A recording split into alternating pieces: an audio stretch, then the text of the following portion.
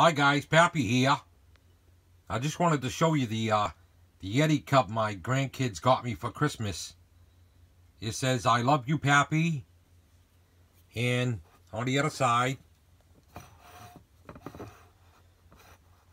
it has their initials there. N for Noah, M for Maddie, and Z for Zachary. Those are my grandkids.